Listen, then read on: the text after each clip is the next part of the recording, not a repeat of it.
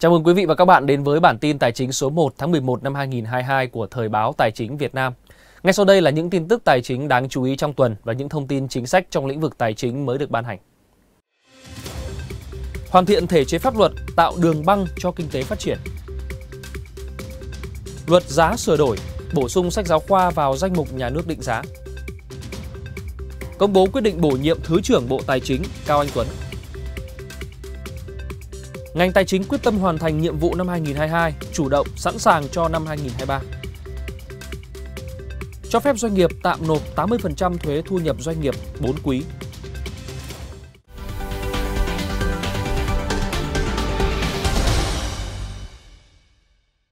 Thưa quý vị, tiếp tục chương trình tại kỳ họp thứ tư ngày 31 tháng 10, Quốc hội thảo luận về thực hiện chính sách pháp luật về thực hành tiết kiệm chống lãng phí giai đoạn 2016-2021. Sau khi các đại biểu phát biểu, Bộ trưởng Bộ Tài chính Hồ Đức Phước đã có phát biểu làm rõ hơn một số vấn đề mà đại biểu nêu. Đánh giá về công tác thực hành tiết kiệm chống lãng phí nhiệm kỳ qua, theo Bộ trưởng Hồ Đức Phước, chúng ta đã đạt kết quả rất tốt.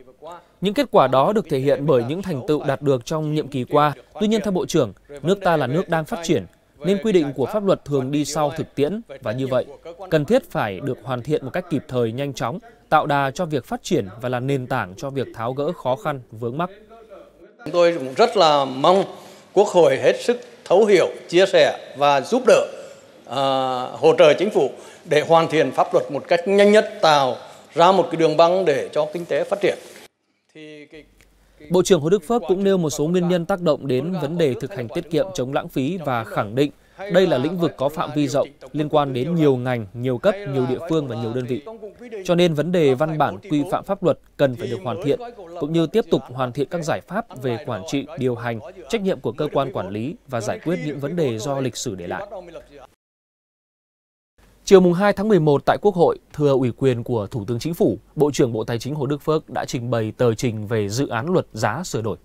Điểm mới của dự thảo luật giá sửa đổi là đưa sách giáo khoa vào danh mục nhà nước định giá để khống chế mặt bằng giá, do đây là mặt hàng thiết yếu và tác động trực tiếp đến người dân. Dự thảo luật giá sửa đổi gồm 8 chương, 72 điều, so với luật hiện hành đã bổ sung 3 chương về quản lý nhà nước về giá, thẩm định giá và nhiệm vụ, quyền hạn của cơ quan nhà nước, công tác tổng hợp, phân tích, dự báo giá thị trường, kiểm tra việc chấp hành pháp luật về giá, thẩm định giá.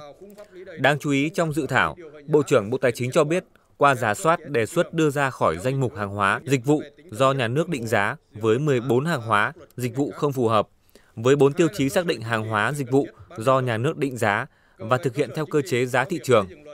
Bên cạnh đó, chính phủ đề nghị bổ sung hai mặt hàng vào danh mục hàng hóa dịch vụ do nhà nước định giá là sách giáo khoa và hàng hóa dịch vụ phục vụ nhiệm vụ quốc phòng an ninh, thực hiện đặt hàng, giao nhiệm vụ cho các đơn vị doanh nghiệp quốc phòng an ninh.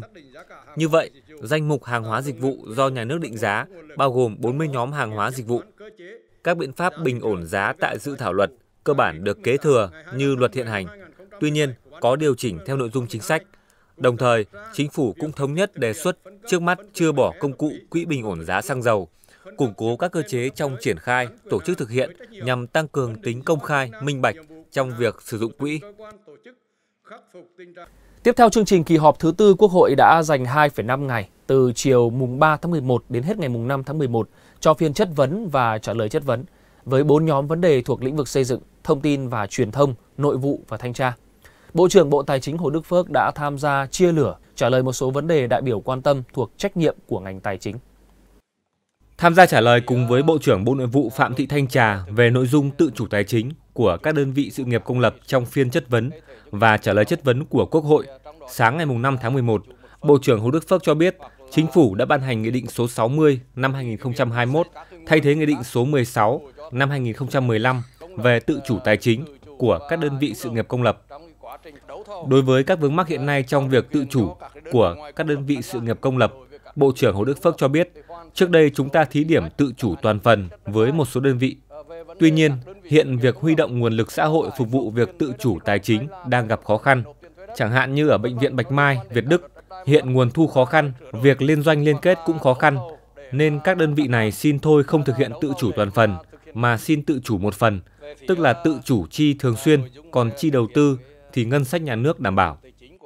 Cũng là hợp lý, bởi vì làm thế nào để phục vụ cho người dân tốt nhất và làm thế nào để cho đơn vị là ngày gói có một phát triển nhất từ cái vấn đề tự chủ chi thường xuyên, khi mà có có nguồn thu ổn định và phát triển, thì tiến tới là sẽ tự chủ toàn bộ cả chi đầu tư nữa. Thế thì như vậy là chất lượng dịch vụ ngày một tăng lên và phục vụ người dân ngày một tốt hơn. Nói rõ hơn về cơ chế tự chủ tài chính của đơn vị sự nghiệp công lập, bộ trưởng cho biết việc tự chủ hiện tập trung chủ yếu vào ba lĩnh vực là giáo dục, y tế và khoa học công nghệ. Trong đó giáo dục và y tế là hai trụ cột an sinh xã hội quan trọng nhất hiện nay có thể ảnh hưởng rất lớn đến chất lượng đời sống của người dân. Do đó, Bộ trưởng Hồ Đức Phước nhấn mạnh khi thực hiện cơ chế tự chủ tài chính của đơn vị sự nghiệp công lập trong hai lĩnh vực này cần thận trọng, chắc chắn hiệu quả, tránh việc chạy theo phong trào. Chiều 31 tháng 10, Bộ Tài chính tổ chức lễ công bố quyết định của Thủ tướng Chính phủ Phạm Minh Chính bổ nhiệm ông Cao Anh Tuấn, Tổng cục trưởng Tổng cục Thuế, giữ chức Thứ trưởng Bộ Tài chính. Thừa quyền của Thủ tướng Chính phủ, đồng chí Hồ Đức Phước, Ủy viên Ban chấp hành Trung ương Đảng, Bí thư Ban cán sự Đảng, Bộ trưởng Bộ Tài chính đã trao quyết định bổ nhiệm cho đồng chí Cao Anh Tuấn. Phát biểu tại buổi lễ, thay mặt Ban cán sự Đảng, lãnh đạo Bộ Tài chính, Bộ trưởng Hồ Đức Phước chúc mừng đồng chí Cao Anh Tuấn được bổ nhiệm chức vụ Thứ trưởng Bộ Tài chính.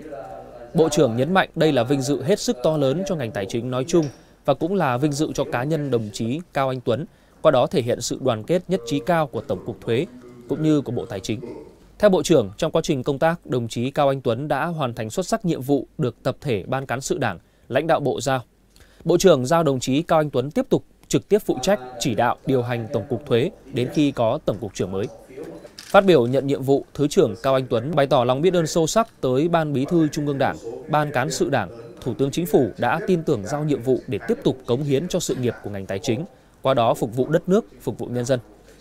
Thứ trưởng cũng trân trọng cảm ơn tập thể Ban Cán sự Đảng, lãnh đạo Bộ Tài chính và các bộ ban ngành trung ương cùng các đơn vị thuộc Bộ Tài chính đã tin tưởng tín nhiệm và giới thiệu đồng chí tham gia công tác lãnh đạo của ngành. Thứ trưởng cho rằng nhiệm vụ mới vừa là vinh dự, đồng thời cũng là trách nhiệm nặng nề. Thứ trưởng khẳng định sẽ cùng tập thể Ban Cán sự Đảng, lãnh đạo Bộ đoàn kết thống nhất để lãnh đạo chỉ đạo toàn ngành tài chính thực hiện tốt các nhiệm vụ chính trị mà Đảng, Quốc hội, Thủ tướng Chính phủ giao. Ngày 3 tháng 11 vừa qua, Bộ Tài chính đã tổ chức hội nghị giao ban đánh giá tình hình thực hiện nhiệm vụ chương trình công tác tháng 10, kế hoạch triển khai thực hiện nhiệm vụ chương trình công tác tháng 11 của Bộ Tài chính. Thứ trưởng Bộ Tài chính Tạ Anh Tuấn chủ trì hội nghị. Hội nghị được tổ chức theo hình thức trực tiếp và trực tuyến tại một số điểm cầu đơn vị. Theo báo cáo của Bộ Tài chính, lũy kế 10 tháng năm 2022, thu ngân sách nhà nước ước đạt 1.464,3 nghìn tỷ đồng, bằng 103,7% dự toán, tăng 16,2% so với cùng kỳ 2021. Trong đó cả ngân sách trung ương và địa phương đều đã hoàn thành dự toán năm. Về chi ngân sách nhà nước, lũy kế chi 10 tháng ước đạt 1.219,2 nghìn tỷ đồng, bằng 68,3% dự toán, tăng 6% so với 2021. Cân đối ngân sách trung ương và ngân sách các cấp địa phương được đảm bảo. Các nhiệm vụ chi ngân sách được thực hiện theo dự toán, đáp ứng yêu cầu phát triển kinh tế xã hội, quốc phòng, an ninh, các nhiệm vụ chi an sinh xã hội. Phát biểu tại hội nghị, Thứ trưởng Cao Anh Tuấn đánh giá cao kết quả thực hiện nhiệm vụ công tác tháng 10 và 10 tháng qua của các đơn vị, đồng thời lưu ý các đơn vị thuế và hải quan đảm bảo nhiệm vụ thu ngân sách năm 2022 có tính toán đến dư địa cho 2023. Phát biểu kết luận hội nghị, Thứ trưởng Tạ Anh Tuấn nhấn mạnh thời gian còn lại của năm 2022 là rất ngắn, trong khi khối lượng công việc nhiều, Do vậy, các đơn vị cần hết sức lưu ý để hoàn thành đúng tiến độ xây dựng các đề án, văn bản quy phạm pháp luật, nhất là các đề án trình chính phủ và báo cáo trình Quốc hội. Trên cơ sở dự báo năm 2023 vẫn còn nhiều dấu hiệu của khó khăn thách thức ảnh hưởng đến công tác thu chi ngân sách nhà nước. Thứ trưởng Tạ Anh Tuấn yêu cầu các đơn vị thuộc Bộ Tài chính cần phối hợp xử lý hoàn tất các nhiệm vụ năm 2022 và sẵn sàng bước sang nhiệm vụ của năm 2023. Tiếp theo sau đây là những thông tin về các văn bản chính sách mới trong lĩnh vực tài chính đáng chú ý trong tuần.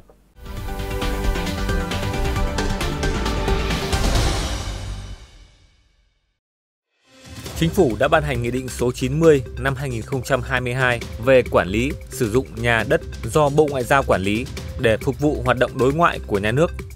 Theo quy định tại Nghị định, việc quản lý sử dụng nhà đất phục vụ đối ngoại phải đảm bảo tiết kiệm hiệu quả, đúng mục đích, đúng đối tượng, công khai, minh bạch. Nghị định số 90 có hiệu lực từ ngày 15 tháng 12 năm 2022. Bộ Tài chính đã ban hành văn bản hợp nhất số 25 quy định về hóa đơn, chứng từ. Theo đó, hợp nhất quy định tại Nghị định 123-2020 của Chính phủ quy định về hóa đơn chứng từ và Nghị định 41-2022 của Chính phủ sửa đổi bổ sung một số điều của Nghị định 123-2020 và Nghị định 15-2022 của Chính phủ quy định chính sách miễn giảm thuế theo Nghị quyết số 43-2022 của Quốc hội về chính sách tài khóa tiền tệ hỗ trợ chương trình phục hồi và phát triển kinh tế xã hội. Văn bản hợp nhất này không thay thế các quy định tại hai nghị định nêu trên. Quý khán giả có thể tìm hiểu thông tin chi tiết các văn bản chính sách trong lĩnh vực tài chính trên báo in và báo điện tử của Thời báo Tài chính Việt Nam tại địa chỉ thời báo tài chính Việt Nam.vn. Sau đây là những tin tức đáng chú ý khác của ngành tài chính trong tuần.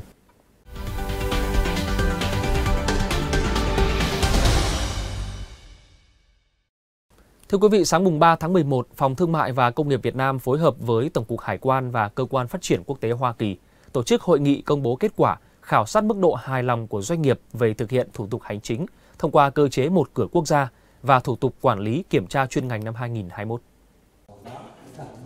Nội dung khảo sát về thực hiện thủ tục hành chính trên cổng thông tin một cửa quốc gia tính đến tháng 4 năm 2022 có 12 thủ tục hành chính của 5 bộ ngành đang được thực hiện. Việc thực hiện thủ tục quản lý và kiểm tra chuyên ngành được khảo sát chung với các thủ tục của 10 bộ quản lý chuyên ngành. Kết quả khảo sát cho thấy, cộng đồng doanh nghiệp ghi nhận những cố gắng của các cơ quan nhà nước nói trên. Báo cáo phản ánh nhiều chuyển biến tích cực so với trước đây trong việc vận hành, quá trình thực hiện thủ tục trực tuyến, việc tiếp nhận và giải quyết thủ tục hành chính qua cơ chế một cửa quốc gia đã giúp giảm thời gian và chi phí cho các doanh nghiệp. Các doanh nghiệp cũng quan sát thấy những chuyển biến tích cực tương tự trong lĩnh vực quản lý, kiểm tra chuyên ngành. Tuy nhiên, kết quả khảo sát cũng chỉ ra nhiều tồn tại bất cập cần được nghiêm túc xem xét.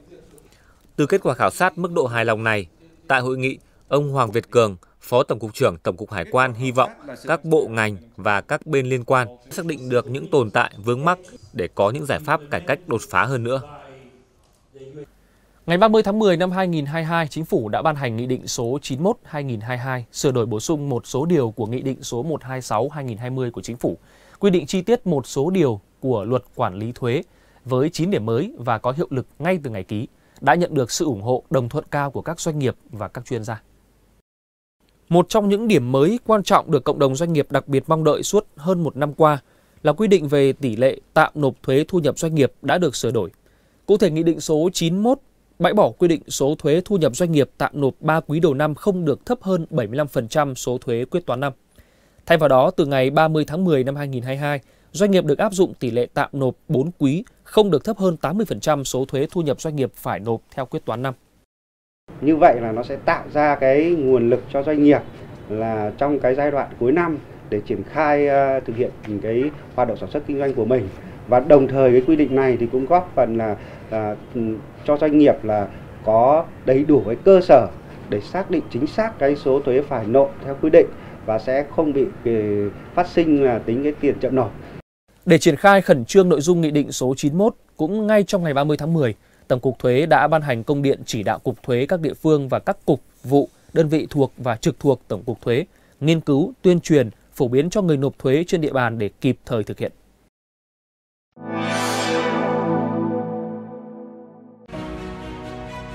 Mang đến niềm vui nhỏ, thổi bùng đam mê lớn, nâng tầm từng khát vọng, chấp cánh những ước mơ PVGas mang nguồn nhiên liệu sạch, hiệu quả và an toàn đến cho quốc gia. Đảm bảo an ninh lương thực, an ninh năng lượng cho nước nhà. Góp phần đưa Việt Nam vươn ra thế giới, hướng tới tương lai. PVGas, năng lượng khơi nguồn đổi mới. Ở phần cuối bản tin như thường lệ sẽ là những thông tin cập nhật về thị trường chứng khoán tuần qua. Cảm ơn quý vị và các bạn đã quan tâm theo dõi. Xin kính chào và hẹn gặp lại trong các bản tin tiếp theo. Thị trường chứng khoán trong nước tuần qua diễn biến không tích cực. Dòng thông tin về tăng lãi suất đã khiến thị trường chịu sức ép bán, đặc biệt là trong phiên cuối tuần. Tính chung cả tuần, chỉ số VN Index để mất mốc 1.000 điểm, giảm tổng cộng 30,21 điểm so với tuần trước, dừng chân ở mức 997,15 điểm. HNX Index cũng giảm 9,17 điểm, kết phiên cuối tuần ở mức 204,56 điểm. Thanh khoản toàn thị trường tiếp tục suy giảm khi tâm lý nhà đầu tư thận trọng hơn trước thông tin về khả năng tăng lãi suất của các ngân hàng trung ương, bao gồm cả Việt Nam. Tính cả ba sàn, giá trị giao dịch bình quân phiên trong tuần đạt 11.719 tỷ đồng, giảm 7,9% so với con số tuần trước. Khối ngoại giao dịch dù bớt tiêu cực hơn so với tuần trước nhưng vẫn bán dòng khoảng 518 tỷ đồng trên toàn thị trường. thị trường chứng khoán trong nước nhìn chung vẫn chưa rõ ràng về xu hướng khi VN Index vẫn loay hoay dò đáy. Điểm tích cực xuất hiện trong phiên cuối tuần là dòng tiền vẫn vào bắt đáy khi thị trường giảm sâu. Điều này có thể tạo hy vọng cho một nhịp hồi kỹ thuật theo quán tính vào đầu tuần sau. Tuy nhiên, tâm lý thận trọng vẫn chưa thể được gỡ bỏ và quan trọng nhất vẫn là tín hiệu từ dòng tiền.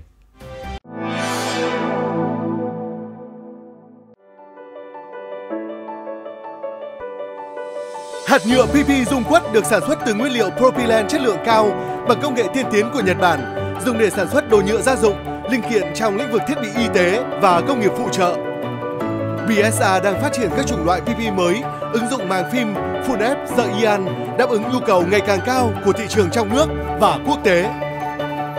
PP dung quất, hạt ngọc hóa dầu.